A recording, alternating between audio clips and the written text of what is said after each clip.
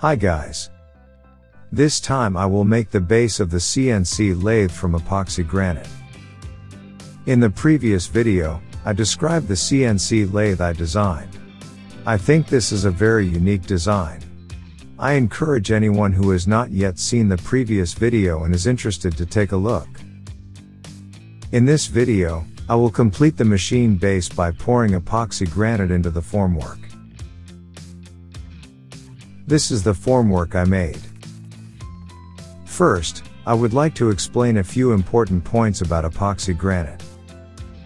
Unlike metal, epoxy granite can't be drilled with threaded holes, so some metal must be embedded where machining is required. Therefore, bolts and other components must be embedded in the epoxy granite so that the metal becomes an integral part of the epoxy granite. Epoxy is a very strong adhesive, so it is necessary to apply a release agent to the formwork. Without this treatment, the formwork will not peel off from the epoxy granite as shown here. I had some tests, and I think silicone is the best release agent. This formwork is also coated with silicone. To make good quality epoxy granite, the amount of sand and gravel must be high, and the amount of epoxy must be as low as possible. However, too little epoxy makes it difficult to remove air from the epoxy granite. If the air cannot be successfully removed from the epoxy granite, the result will be weak strength and less visually appealing. Repeated testing is required to find the right ratio. This time, my priority was to create a beautiful epoxy granite with no air bubbles, rather than less epoxy. If I fail, all the form work and metal parts I have made will be wasted. The solution to failure is simple. Drink a lot of alcohol and forget about it. This formwork is the largest formwork I have ever made. If it fails, I will need a lot of alcohol. A while ago I mentioned the importance of the gravel, sand and epoxy ratio when making epoxy granite, but this time I will not use gravel to avoid air releasing failures. The sand mix is 10% 1 mm sand, 40% 0.3 to 1 mm sand, 30% 0.075 to 0.053 mm sand, and 20% epoxy. Tactually, the finest sand is sandblasting sand made of aluminum oxide. It is used as a raw material for aluminum and as an abrasive because of its hardness. The reason why I use sandblasting sand is because I wanted to use fine grained sand and the material is hard. I thought I could make good quality epoxy granite with this sand.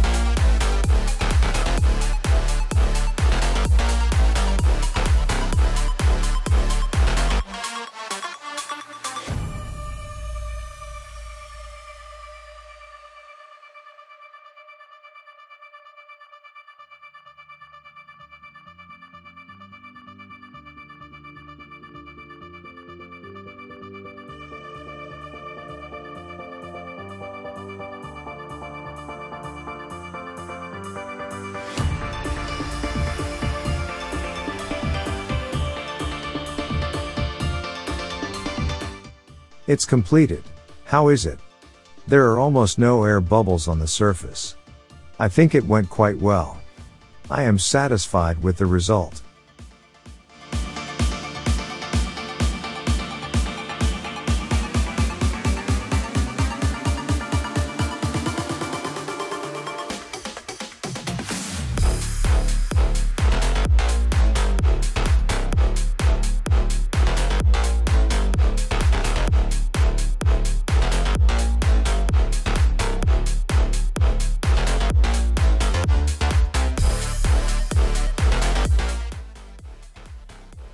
Let's move on to the next step.